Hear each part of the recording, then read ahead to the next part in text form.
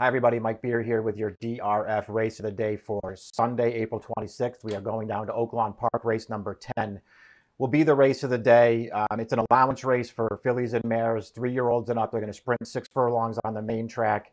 And let's take a look at this field. It's a, it's a big field. 14 are entered. Of course, only 12 um, can run in the race, so you're going to have to wait for scratches. I think it's important to wait for scratches um, in this race. Let's just you know get to, go there right off the bat because the 13 and the 14 who aren't in the race as of now, um, I think they're both horses you want to at least consider if uh, they get into this race. Even if one of them gets in or both.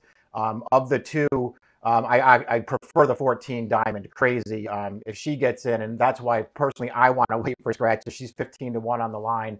I don't think she'll be that price if she gets in, but she's the horse that I would pick if she gets in. I think this is a great spot for her. I really like her recent form. I don't want to spend too much time on those two horses because they're not in the race as of now, but just want to throw it out there right at the top. If the 14 Diamond Crazy gets in, um, she would be my top pick in the race. You can see that the uh, morning line favorite um, in this field is the number five in the midst of Biz. Um, she's three to one on the line, sort of a lukewarm favorite. She's in good form right now. I'm not going to knock her.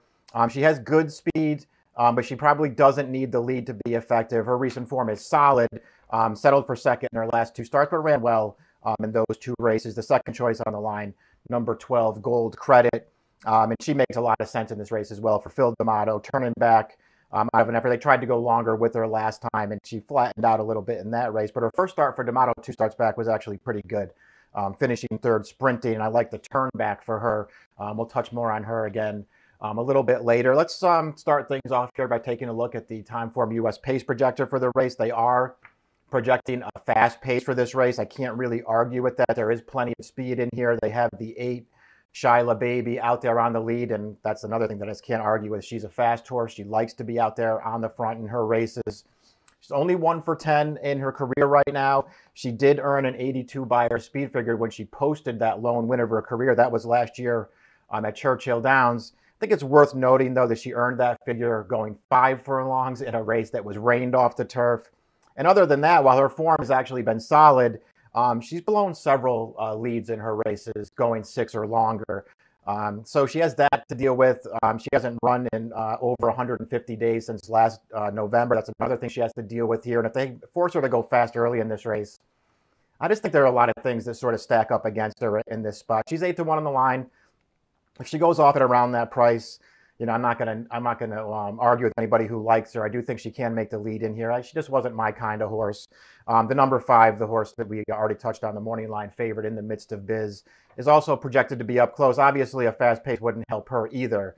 Um, but she's a contender in here. Again, I'm just, you know, I'm not a huge fan of in the midst of Biz. I know that she can win this race. I just, she's just not the kind of horse I would want to um, be betting on as the favorite. And I do think there, there is a real chance um, that she could be favored in this race. So I was going to avoid the two horses that the pace projector have out in front. Let's just touch on some of the other contenders in the race here real quick because it is a big field. Um, the number one is Clickbait. Um, there are some things to, to, recommend about Clickbait. Obviously, she's um, only run twice in her career. She won both of those races. She comes in here at two for two. Um, defeated a very weak field um, at Canterbury in her debut last summer, but she won that race very easily and very impressively. And then she came back in her second start um, and did this. We have a replay of her second career win. They stepped her up, you know, logically into a, an allowance race. And once again, you know, she had speed, but she was just content to sit off the pace early and track the leaders. Um, she rolled up on them through the turn to challenge, and she was just much the best. You can see her confidently ridden um, for much of the race, just pushed clear at the end. This was going six and a half furlongs. She is returning from um, a layoff of over 220 days in the spot. She is facing um, a tougher field than she's ever faced before. This is there are no stars in this race. It's not like she's found herself in an impossible spot, but it is a tougher race. Um, I think you have to you know respect the fact that she's very lightly raced. Um, she has good tactical speed, so it's not like if they go fast in front of her, it's supposed to really affect her. We'll see how that all plays out. I can see her being um, a contender in this race. I don't love her. Um, I wouldn't take too short a price on her, but I can see her, you know, taking the step forward that she needs to take um, and being a real factor in this race. Let's uh, move to the outside here. Um, number 10 is another lightly raced four year old. This one for Steve Asmussen, uh, shocking fast. And she's another horse who I think is a contender in this race. Only four starts so far. She began her career in California for Baffert. You know, she didn't run great in either of those two starts, but then she got a layoff. They turned her over to Asmussen for this meet earlier um, here uh, at Oaklawn Park in February, and she won. First off, this is her first start for Steve Asmussen. We'll have a replay of that race. Broke a bit awkwardly in this race, but she had speed. She got right up there uh, to the front in the race. Took some pressure from a long shot around the turn, but had no trouble holding that. And then she just, I like the way she finished this race off. You can see her kicking clear at the end. She earned a 69 Beyer for this effort. I thought she ran fine. And in her last start, they tried to stretch her out in distance. And, you know, maybe at this stage of her career anyway, she's just not a horse who wants to go that far. Her trip was fine in that race after getting bumped at the start, um, going that mile. Um, she was in contention um, up the backstretch and just really lacked any kind of punch in that race. Got tired in the stretch, finished fourth, beaten over eight legs. But I, am not going to really hold that race against her. I like her cutting back in this race. I respect that she has upside for Asmussen, and she's a great price on the line. I think there were a lot of things to like about Shocking Fast. Um, she is a horse that you know I would certainly um, be looking to use in this race, along with uh, the 12 Gold Credit, um, who we touched on briefly at the Open uh, for Phil D'Amato. I just think she makes a lot of sense in here. She won her career debut um, as a two-year-old back at the end of uh, of that of that meet at, in October at Keeneland, and then after that it was three straight stakes races. Um, when they finally dropped her in class, she bumped into Covfefe. Then she caught a sloppy track, and then her three-year-old campaign was over in June. Um, since she's come back this year, I think she has taken a step forward. Um, her last two starts have been for D'Amato. Um, they sprinted her um, back in February. I, I, thought she ran pretty well in that race. Got a clean trip, but always chasing basically um, Sunnydale in that race. Sunnydale is going to be running in a stakes race on Saturday, so we'll see how she does. Um, and then again, you know, much like uh, Shocking Fast, they tried to stretch her out last time. She was in that same race uh, with Shocking Fast. And, you know, they, they rated her early. They didn't want to go towards the front with her. They rated her.